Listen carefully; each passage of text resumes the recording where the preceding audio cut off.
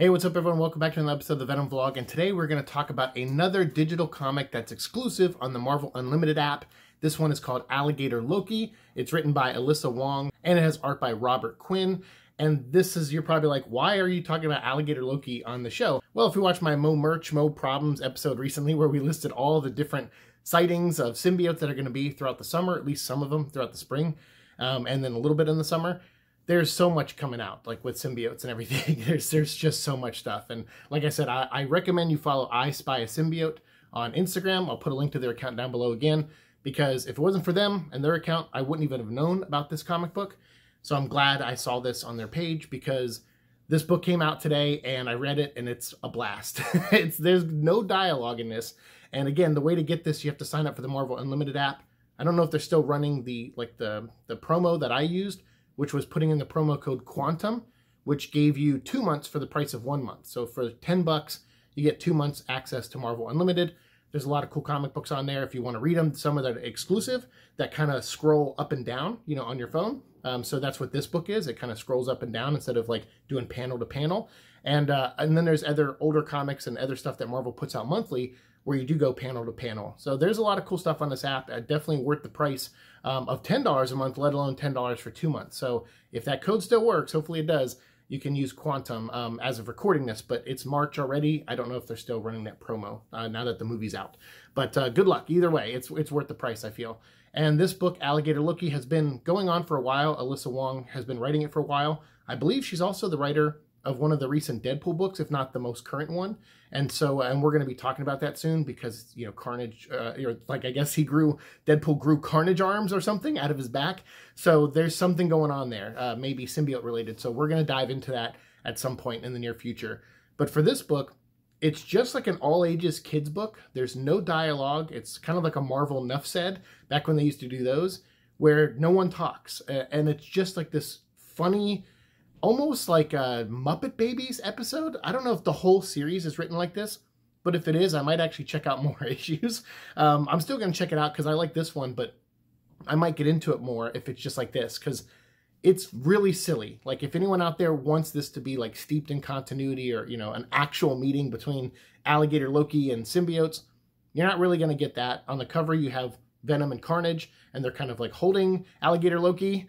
Um, but the book, the actual story, and I'm going to get into some spoilers and beats of the story here. So if you don't want to know what it is and just want to know that it's a fun Muppet Baby style, uh, you know, uh, single issue story you can read, go check it out on the Marvel Unlimited app. Uh, but for those of you who are staying, I'll just tell you a brief overview of the story, which is that uh, Alligator Loki is being walked, you know, because he's a pet, uh, to Loki and Thor.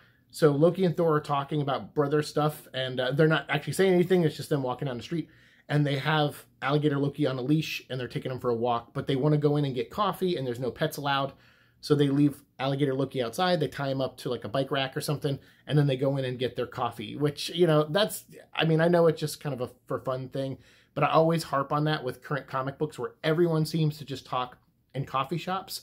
And it's just like, really, can they not go do any other activity? It's always got to be coffee. Uh, but I get, I guess that a lot of writers drink coffee. Not me. I don't like coffee. Um, but maybe that's why I'm not a good writer. I don't know. Um, but this book, Loki and Thor go and get their coffee, and Alligator Loki's hanging outside, and he looks up, and there's a battle going on. Um, and it looks like it's a battle from the Extreme Carnage series because it has all the symbiotes, the Life Foundation symbiotes, but they're kind of half bonded with Carnage and they've been taken over. And you have uh, Silence there, though, and you have Venom there, who was not in Extreme Carnage. It was actually Anti Venom. So at first I was like, oh, okay, so continuity wise, this doesn't actually match continuity. So, okay, so what is this? You know, so the symbiotes are all battling. It's Venom versus the Life Foundation symbiotes in Carnage, and he, and Carnage has control of the Life Foundation symbiotes and they're all going at it and then they see alligator loki and they just find him adorable. And so they decide to stop fighting and hang out with them. I guess they don't feel like it's right to you know tie up a dog or, or an alligator in this case a pet outside of a coffee shop you know? Um, and i agree. I don't like when people do that either. So they're like hey you know what come hang out with us while your owners or whatever are getting their coffee just come hang out with us. And again, there's no dialogue, but the, it's just all suggestive and visual. And, and the art is great, by the way, by Robert Quinn. I love the colors. The colors are, make it very fun and make it pop a lot. Um, so yeah, so they just kind of hang out, take selfies, wear you know wear the alligator crown on all their heads, and just doing goofy things like that. And they're just having a fun time uh, hanging out with alligator Loki. And then at the end they go okay, and they put him back, and and then Thor, and they leave and they go continue their battle. And Loki and Thor come out of the coffee shop and are like, "What have you been up to since you know we've been gone?" Kind of thing. Uh, they but they see him and he's kind of like he's you know he's rocking out, uh, looking all cool and stuff, and smiling. And they're like, "Wait, he doesn't like being out here. Why is he all happy?" And then it cuts to you know uh, alligator Loki in like his home, and he's playing with all these action figures that are of the symbiote. Some of them have like broken arms, I think, and stuff.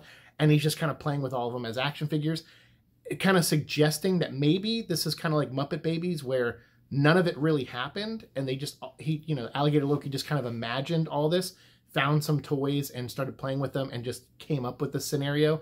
Uh, because there's no dialogue and no narration or anything you don't really know but that's the feeling i got from it. So if you got a different feeling from it let me know but that's what it felt like and, and i kind of like that. I was like oh if that's true if it's just all in his head and it's kind of like muppet babies that's awesome. that's uh, really, really cool and a fun idea to do with these characters uh, because, yeah, the continuity didn't really make sense at first, but I'm like, oh, if he's just imagining it and it's something, you know, maybe he saw on the news, the Extreme Carnage, you know, event on the news or something, it's like, okay, or just has like general knowledge of it because he's a magic alligator. I'm like, yeah, that could work. Um, but yeah, so it's just like a fun little one shot. And I thought it was a nice departure from, you know, the DLC game I've been playing lately because I know not everyone, you know, that's why I separated gaming footage and have a whole channel for gaming. Um, and I know a lot of people who come here for Venom stuff aren't all like hardcore about video games and stuff. So I thought I'd take a break from the DLC for a couple days, make this video for you and talk about it, and show off something we're going to talk about in the next episode. Yes, this is the Marvel Stunt Squad. I can't believe I actually saw one of these, and I figured, ah, screw it, 10 bucks. I had a gift card. Let's go ahead and pick it up, and we'll uh, talk about it in a future episode. So yes, this will be coming up. We'll kind of do another cutesy video after this, and then we'll get back into the DLC of the video games, and then we'll get back into more of the dark web stuff and the modern comics. So uh, yes, yeah, so let me know what you think of Alligator Loki issue 20. If you enjoyed it, if you read it yourself, please let me know what you think down below, uh, and or just what you thought of my uh, description of it. But I will say, please, like I know some of you don't have access to a lot of this stuff, but if you are able to get access to it and you're able to pay for these services and check them out yourself, I recommend it. You know, and I, I like to do like these things where I get Netflix for like a month and then I'll go get like HBO Max for a month or something and I catch up on shows I missed or that have been recommended to me if I have time. And then I'll go to like a comic book app and get Marvel Unlimited for a month. So I kind of bounce around. So uh, just to kind of, you know, so I'm not paying like 80 bucks a month on like six different services. Uh, so if you're like me and do that, then I would say at some point pick this up, get the Marvel Unlimited app, and check out all the comics on there. It's a great way to catch up on books that you may have missed out on in the past like year or two, um, or even before that, way before that, because they post a lot of really good stuff on there. And anything that's kind of available on Comixology at some point ends up on the uh, Marvel Unlimited app. So yeah, very wide variety of, uh, of Marvel content for sure. So let me know what you think again down below, and let me know if you're excited for this. We'll pop this up in the next episode, and then we'll get back to uh, some video gaming. So thank you so much. See you in the next episode. Peace.